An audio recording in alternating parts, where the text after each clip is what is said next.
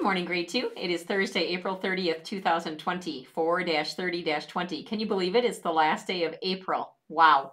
Our days have just been ticking by here. Tomorrow will be May 1st, May Day. Are you familiar with May Day? Uh, sometimes there would be dancing around the maypole uh, with your ribbons, um, or maybe you would make a secret little basket or uh, gift of candies or flowers usually. It was usually flowers. Um, and you would take it to the neighbors and put it on their doorstep or on their doorknob and then uh, leave it there as a secret, maybe tap on the door, but then run away. And so that it would be a little anonymous gift. Maybe there's someone you could do that for in your home. Make a little bouquet of uh, paper flowers, or if you have some little treats that you can do, and put it on just their bedroom doorknob. And then that's something they could find for a little treat later. Something we can even do when we're just at home. Um, for memory treasure today, you have Romans 6, verse 23. Can you say it with me? For the wages of sin is death, but the undeserved gift of God is eternal life through Christ Jesus our Lord.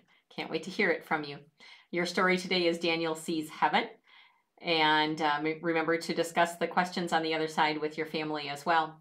You have an epic read today and an AR test to take on that. And today is the last day of AR, but I'm pretty sure, if I remember right, I think all of you have your goal. Great job. Way to go. Um, in math, we're going to be doing a worksheet together. So if you don't have that and a pencil handy, make sure you grab those things. Um, pause the video in a moment and grab those things to do our math together. Um, how's it going on your junior park ranger books? I can't wait to, or packets, can't wait to hear a little bit more about that.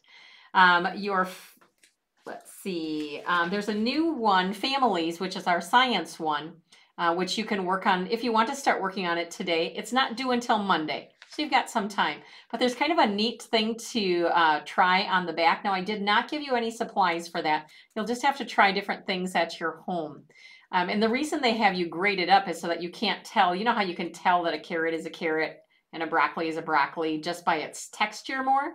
Um, so they want you to try it just having little teeny pieces of it and putting it in your mouth with your nose being plugged. And if you remember, sometimes when you've had a cold and you can't breathe, what happens with the food that you eat? That's what this experiment is all about. All right. Lots of cool things to read about and of course um, videos to watch on your Studies Weekly website and then just a few fill in the blanks on the bottom here. All right. But again, that's not due till Monday. All right. The one that's due, oh, I left it at my other desk, but you know which one, the resources and choices one, that one is due tomorrow. Okay. So finish that up today. If you haven't already uh, gotten that finished and sent me a copy of that, a picture of that. Make sure you get that finished and send that to me tomorrow, okay? Um, and then your letter. They have been super. So this is our last day of uh, letter writing for today, as long as you have done one each day so far, and then get those mailed in so that the residents can enjoy your wonderful letters. They are so good. I know they're um, loving them. All right, are you ready for some math? Okay, so if you haven't gotten your things yet, pause the video now and then start it again when you're ready to go. I'm going to go to my other camera.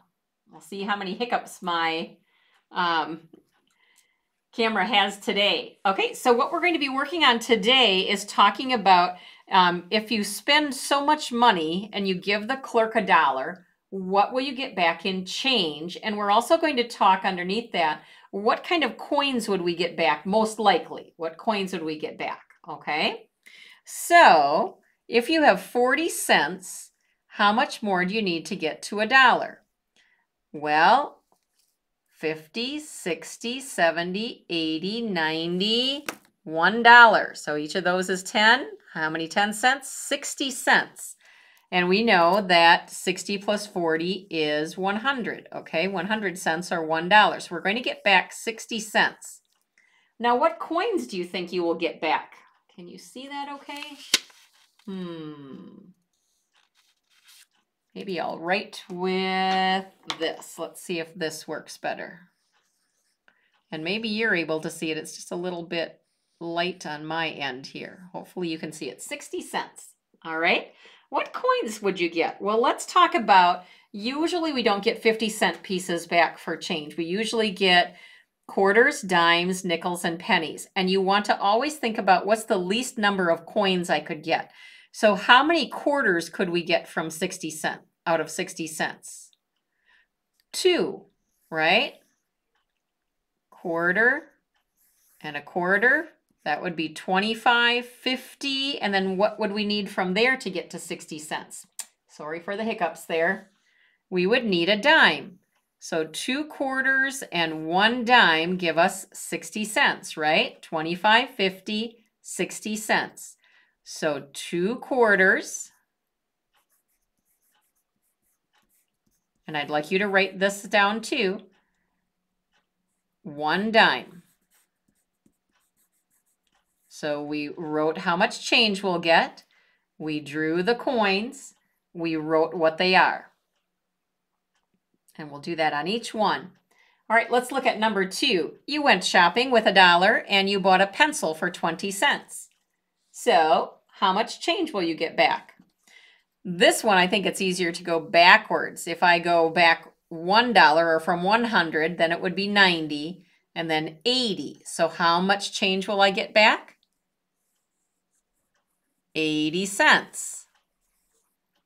So what coins will you get back with your change? Well, how many quarters can we get that is less than 80 cents? You got it. Three. 25, 50, 75. All right, and then what would be the next coin from 75 cents to 80 cents? What would I need? A nickel, very good. All right. So 25, 50, 75, and then another nickel would make it 80 cents. That's the coins we would get back. So we would write three quarters, Q-U-A-R-T-E-R-S, one nickel, and nickel is N-I-C-K-E-L. Remember, it's E-L at the end of nickel. My camera is having trouble staying focused. Makes it look like it has the hiccups. All right, let's try number three. So here we are buying a ruler. Hmm, looks like it's a ruler that got bit off at the end. I don't know if I would pay 25 cents for that. Hopefully they're just showing us part of the ruler. So you paid 25 cents and you paid for it with a dollar. Something that cost 25 cents. Do you know already what it would have what you would have left?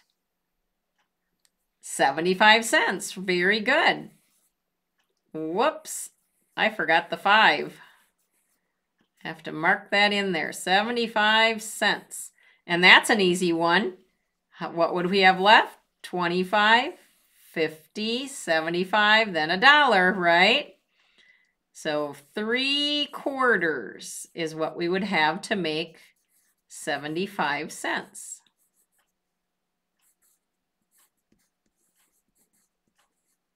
Good.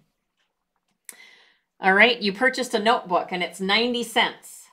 That's an easy one too. How much will you get back? 10 cents. What coin do you think you'll get? One dime. That was a really easy one, huh? We have two more left to do. We'll be done in no time. All right, so you bought a juice box. It cost 50 cents. You paid for it with a dollar. What will you get back? You got it. You'll get 50 cents back. 50 cents and 50 cents makes a dollar. What coins will you get back? You got it. Two quarters will make 50 cents. So we'll get two quarters.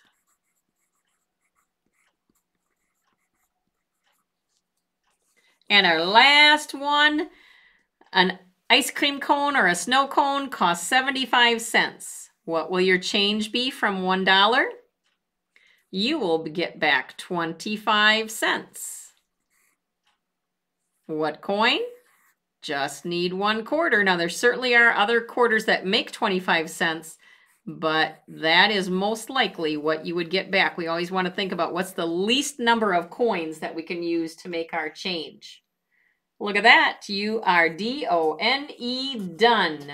I would like you to take a picture of this. Make sure you have spelled your coin words correctly. I want to see the change, the coins, and the words. Remember, would it be okay to pause this right here? Yep, it sure would. You could pause it and you could make sure that you have everything done correctly. Okay, back to me. Hello, here I am again. Well, that was kind of fun. Got to go shopping, spent a dollar on all sorts of little things, and we got some change back. Well, for pretend anyway. All right. Be sure you call me if you have any questions. I look forward to seeing you soon and hearing your memory treasures today. Bye-bye. I mean, really, bye-bye. Nope, really, bye. See ya.